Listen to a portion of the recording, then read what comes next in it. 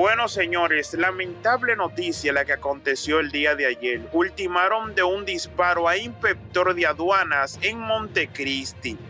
Recibió la bala tras intervenir con los desaprensivos para salvar a su hija. Policía Nacional investiga el hecho. Desconocidos ultimaron la madrugada de este sábado a un inspector de aduana en el muelle de Manzanillo, provincia Montecristi. Según confirmó a los medios de comunicaciones el vocero de la Policía Nacional, coronel Rafael Valdera Tejada. El hecho ocurrió en la comunidad Copey, donde residía. Antes de continuar con estas informaciones y mostrarte los culpables de este hecho, quiero primero pedirte que te suscribas al canal y que active la campanita de las notificaciones para que así te mantengas al tanto cada vez que yo suba uno de mis videos y seas tú uno de los primeros en enterarte de todo lo que acontece en el país y en el mundo.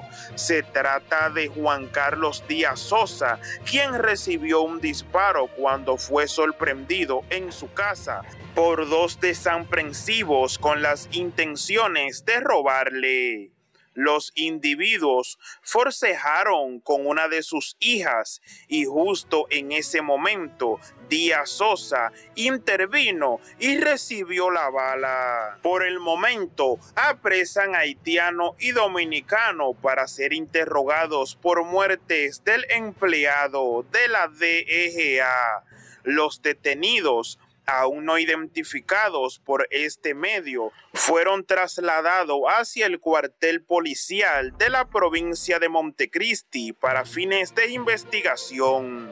La Policía Nacional apresó en la localidad de Chacuey provincia de Dajabón, a un haitiano y un dominicano para ser interrogados con relación al asesinato de Juan Carlos Díaz, quien se desempeñaba como aforador en la Dirección General de Aduanas DGA en el puerto de Manzanillo. Los detenidos, aún no identificados por este medio, fueron trasladados hacia el cuartel policial de la provincia de Montecristi para fines de investigación. En un audio que circula en las redes sociales, presuntamente de la hija de la víctima, señala a los detenidos como los responsables del suceso ocurrido la madrugada de este sábado.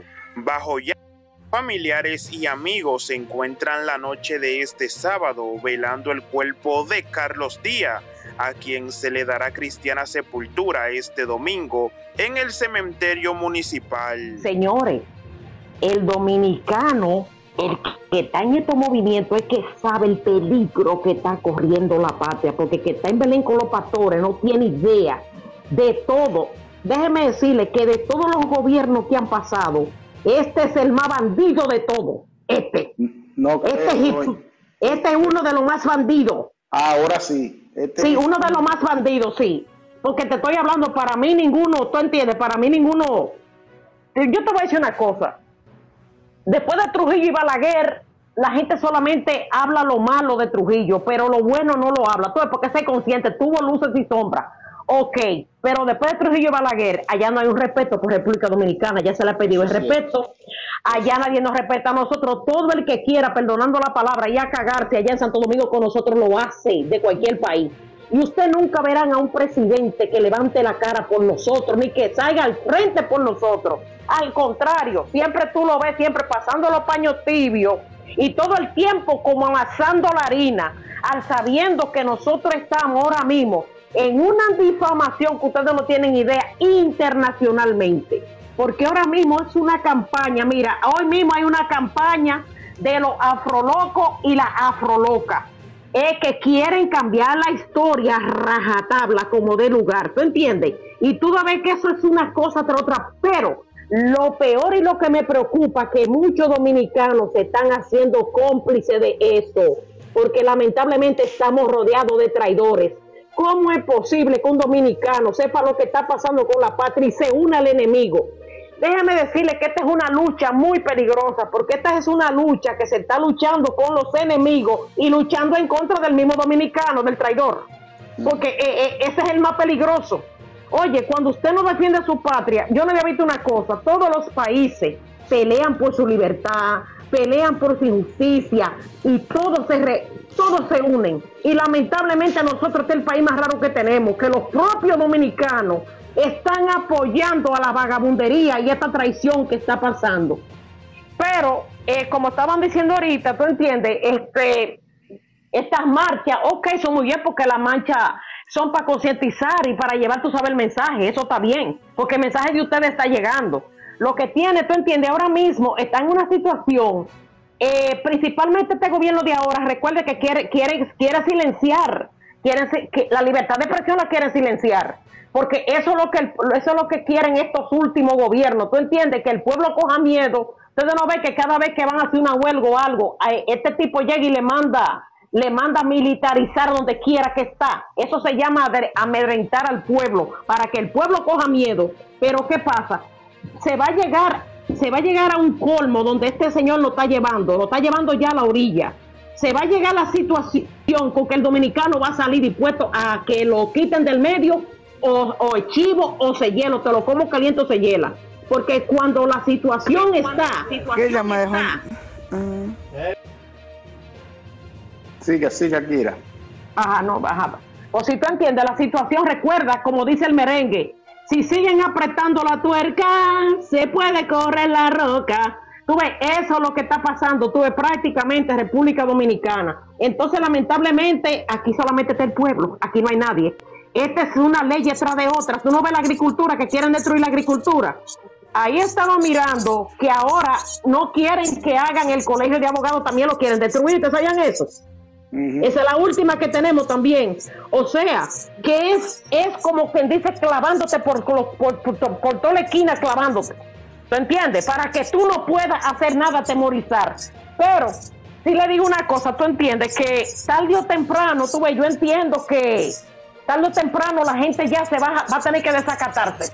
Va a ser pelear por tu vida, prácticamente, porque las calles de Santo Domingo, usted no sabe dónde vive ya. Usted no sabe si está en Haití o está en República Dominicana. Mira esa querosidad de lo que han llegado las calles de República Dominicana, que parecen letrinas. Mira la capital dominicana. Nunca pensé que la calle Duarte, la calle principal, podía parecer letrina. Jamás en mi vida. Eso es algo de, eso es algo de migrante. Es algo que tú dices, pero ven acá ¿Dónde están toda la millonada que está cogiendo este hombre? Porque yo quisiera que alguien me diga qué es lo que está haciendo con tantos millones. En los hospitales no están porque no, no, no, los insumos no están. Las escuelas no sé dónde están porque cada rato hay escuelas que no tienen la silla, no tienen nada. Aquí el pobre no puede decir que está ayudando al pobre porque aquí el pobre se lo está llevando si el carajo quien lo trajo. ¿Tú entiendes? Entonces, el pueblo quisiera saber qué lo que este hombre está haciendo con todo el dinero que está cogiendo la millonada. ¿Tú entiendes? Lo mismo, Porque, lo, mismo que hicieron todos los otros demás, robar y hacerse dinero y hacer dinero como que ellos creen que se lo van a llevar. Aquí lo que tenemos un trozo de vendepatria. Bandidos. gracias, Cari, Kira. Carlos, antes que pasemos papá, papá, Carlos 157, bendición. Carlos, a la una. Carlos. Papá Pato, dígame a ver. Pati Libertad, buenas noches para todos. ¿Cómo está usted, mi Duarte? Estamos bien, gracias a Dios. Aquí, ya te sabes, tratando con estos patriotas. Ahí está la voz del pueblo, ahí está el jefe, que el jefe parece que se fue a dormir porque yo no lo he oído. Saludos, papá Pato. No, estoy escuchando, estoy escuchando, sí.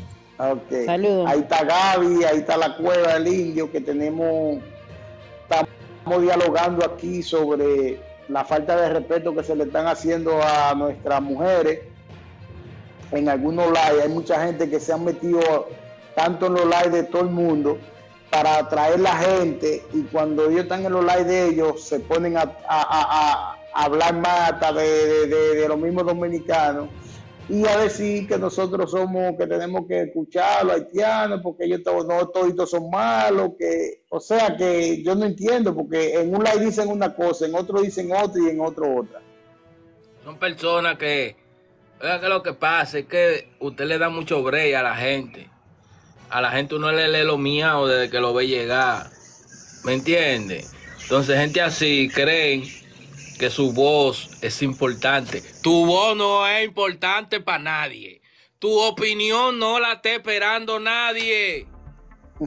Ni crea de que, que tú vas a mover, que te van a hacer caso. A usted no le hace caso nadie.